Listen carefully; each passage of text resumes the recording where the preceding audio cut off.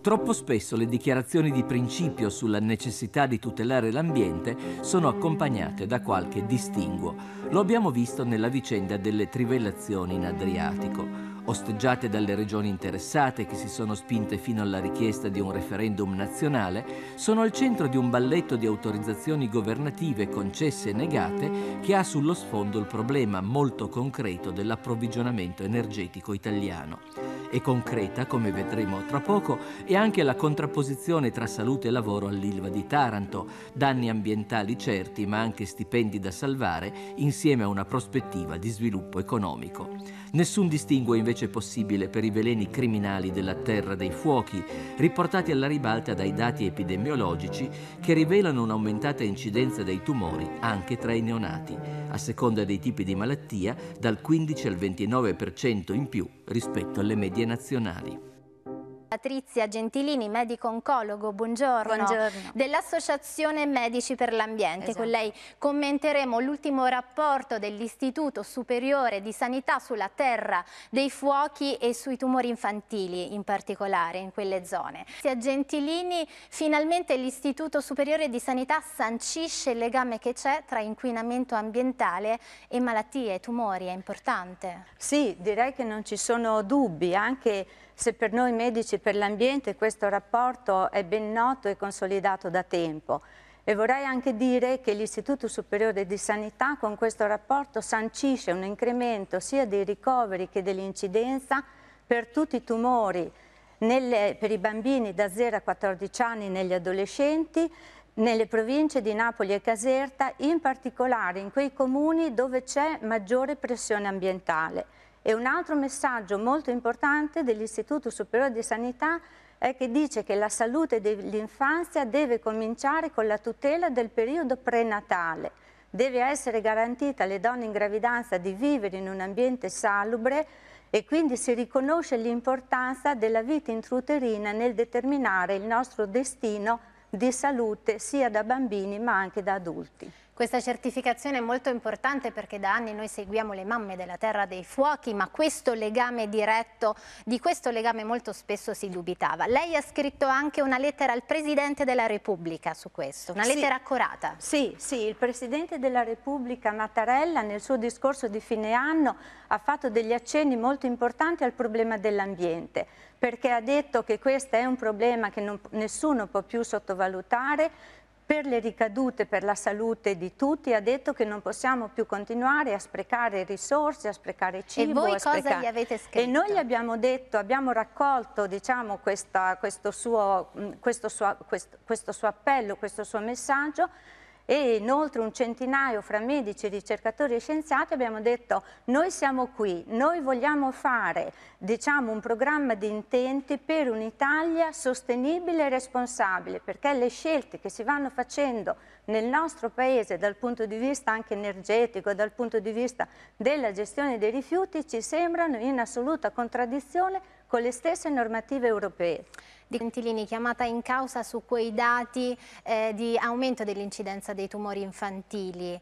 Il lavoro del commissario è ingrato, lei cosa pensa di questo polo siderurgico? Ma eh, io e tutti i medici per l'ambiente eh, pensiamo eh, diciamo, che siamo di fronte a un accanimento terapeutico perché purtroppo noi pensiamo che la convivenza fra un impianto di questo tipo e la salute dei lavoratori e ovviamente anche dei cittadini eh, di Taranto eh, non può essere uh, un obiettivo raggiungibile. Eh, L'acciaieria è il più grande impianto d'Europa ma non è il primo per produzione d'acciaio, bisognerebbe tener conto che già ora a livello mondiale la produzione di acciaio supera quelle che sono le richieste. E quindi anche, eh, attuando al 100% anche le prescrizioni dell'AIA eh, i rischi per la salute eh, sono assolutamente inaccettabili perché da 22.500 persone esposte al rischio anche solo per via inalatoria si passerebbe a 12.000.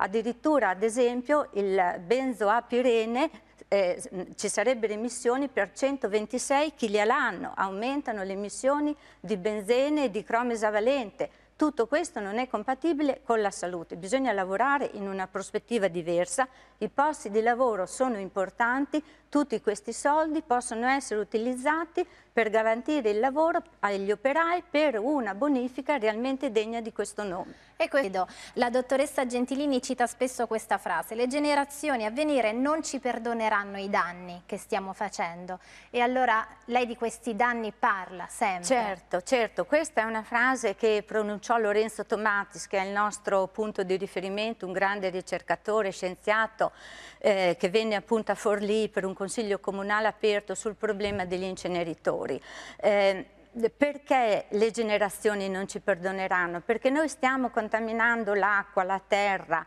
eh, il, il, suolo e tutte queste sostanze spesso persistenti come diossine, PCB, metalli pesanti si trasmettono, sono presenti nei nostri corpi e si trasmettono anche durante la gravidanza perché purtroppo la placenta non è una barriera impermeabile. Io ho sentito parlare dei costi e dei soldi investiti, ma eh, voglio dire non si tiene mai conto dei costi esternalizzati. L'Ocse valuta in 1.600 miliardi di euro all'anno i costi per l'inquinamento sia out che indoor. I costi per sanitari, per la mortalità prematura e per gli anni di vita persi dalla sola ILVA ammontano a 386 milioni di euro anno e non si tiene conto di tutte le attività produttive che sono sacrificate da questo tipo di sviluppo. Noi continuiamo su una strada. Lei ha detto sì, non, non si può fare di più in questo sistema, ma da questo modello dobbiamo uscire.